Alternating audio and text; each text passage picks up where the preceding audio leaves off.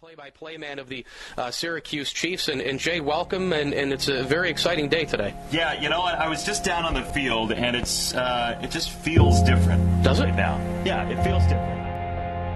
And he said that it has a different feel. Do you have that different feel?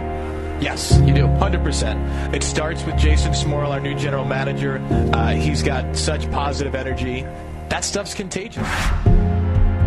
It's an infectious feeling. It's notably different. Just looking at the outfield signs, there's more. And that's not to disparage the people from before. It's just to say there's been a step forward. Sure that you read some of the stuff by the old regime and the media and the social media stuff. Does that bother you? It's eh, whatever to me. But I think that's the attitude around here is it just this is an organization that's about the future now. Rochester a lead of a pair. For love. 8 nothing Rochester. They had a lead. They gave up the runs. They had a chance to cash in. They couldn't do Danny it. Rosenbaum underwent Tommy John surgery, so he's done for the season. You got to get off to a hot start.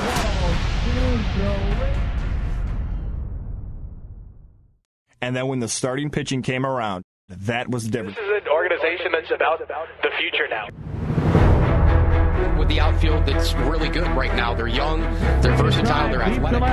Goodbye. There goes Burriss. Pitches inside, throw to third, and Burriss is safe. It's more about too the, the defense that people forget. You know, they they want fundamentally sound defensive players. Five-five tie in the 11th.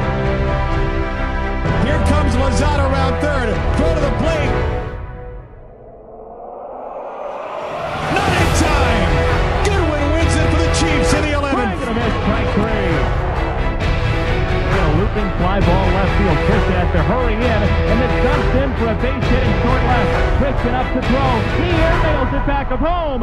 The game's over. The most affordable professional sporting option available in the city. And we're going to make your experience fantastic. We are going to